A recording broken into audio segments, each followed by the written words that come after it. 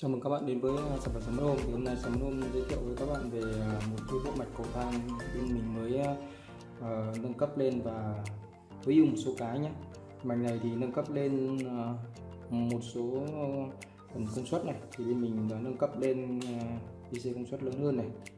Tiếp đến là nút nhấn cũng để gọn hơn này. Đấy. cảm biến ánh sáng thì bên mình thiết kế một cái khối nhận biết ở trên này và chỉ ừ, bỏ ra mình cái con quang trở này thôi. Đấy, bác nào không dùng quang trở thì lấy quất cái à, băng dính đen quấn lại thì nó sẽ cảm biến ngày đêm. Tiếp đến là cái biến trở để thay đổi cái độ nhạy ở đây luôn. Đấy, thì độ nhạy của cảm biến ánh sáng. Ở đây thì uh, có cảm biến uh, màu vàng mình thường sử dụng cảm biến này. Đấy cảm biến này thì nó sẽ phát hiện được uh, uh, khoảng cách sau đấy là báo lên cái led ở bên hông bên mình có lắp hai cái led. Thiết kế hai cái led ở bên hông này. Đấy. cảm biến này thì chạy 5V nên là mình có ký hiệu dây nâu dây đen và dây xanh dương đây rồi. Hai cái dây đen thì nối vào cảm biến 1 và cảm biến 2 của hai cảm biến. Còn xanh dương và dây nâu thì mình nối chung luôn. Cái điện áp đầu vào thì nuôi là mình à, đến là 12V Đấy. đây là cảm biến. Đây, bây giờ mình sẽ lắp và test cho bạn xem. Đây là có một công tắc của đây là chế độ auto. Chế auto thì mình lắp vào cái rắc bi này. Đấy, khi bật tắt thì nó sẽ sẽ auto ứng trong này. Bây giờ mình sẽ đấu vào đây nhé. Ok bây giờ mình đã đấu là dây nâu chung rồi này. À, dây nâu chung này với à, dương 5V này dây xanh dương chung với 5V à, GND này. Và dây đen với cả mũi 1 phần 2 ok bây giờ mình sẽ cấp 12V nhé rồi mình cấp 12V khi cấp 12V thì ờ, đèn sẽ nháy. Đấy. Mình sẽ dẫn nháy. Tiếp đến là mình đi ờ, tiến hành về xét số bậc. Đầu tiên mình sẽ chọn cái số bậc. Sau đấy mình sẽ nhấn tăng giảm ở đây. Ở phần ờ, tốc độ và thời gian thì tăng và giảm đấy. Nhấn lên.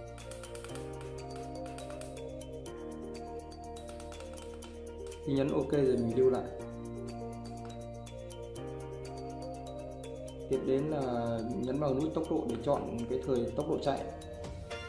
Đấy tăng giảm ở đây. Nhấn tăng giảm ở hai cái nút này. Đấy nó chậm hẳn rồi đấy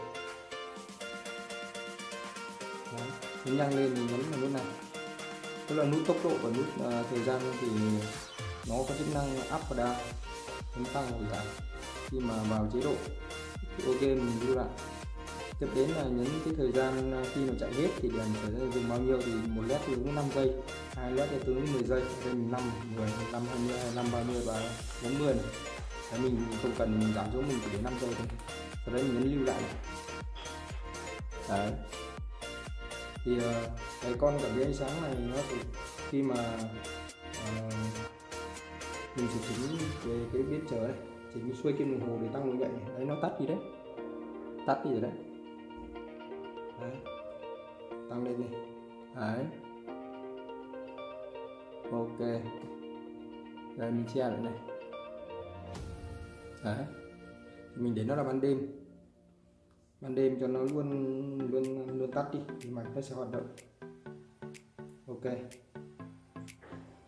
Đấy, thì cái con này nó có thêm một cái là khi mà mình thấy mình che này. Đấy, có một con led ở đây một led trên này này thì hơi che mất. Thì khi mà mình có vật cản thì con led này sẽ báo lên thì để mình tiện cái việc test trong quá trình thi công. Đấy rất là tiện. Đây có một con led này trong góc này có một con led này. Khi mà cảm biến quét nó phản hồi về thì con led này nó sẽ sáng. Đấy. Thì tất nhiên con led ở sau đít này nó cũng sáng. Thì mình uh, nhìn thấy được cả hai nên là mình rất là tiện khi lúc chỉnh nếu mà nó có vấn đề. Ok bây giờ mình sẽ test mạch này. Có các trường hợp như sau này. đầu tiên là có một người đi vào.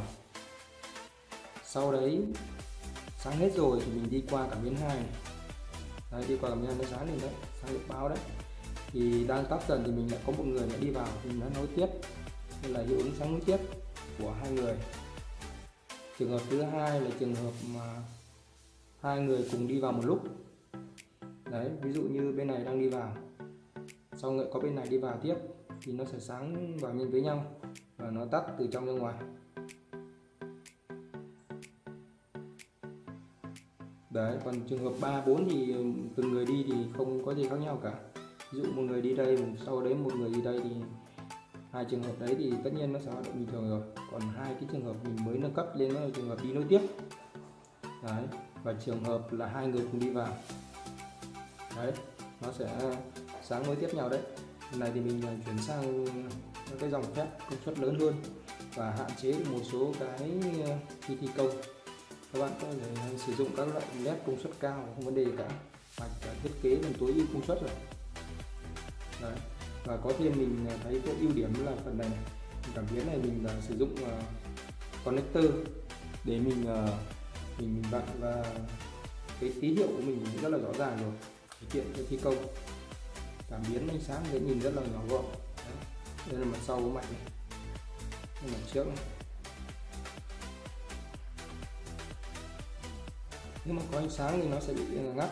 Cảm biến nó không có tác dụng. Đấy. ok tiếp đến là chế độ auto khi mà cắm cái này vào này. Mà bật chế độ auto thì nó sẽ chạy auto một số hiệu ứng. Cái này thì mình cũng chỉ để trang trí một số hiệu ứng thôi. Đây, bật lên. Nó sẽ chạy một số hiệu ứng auto này. Đấy.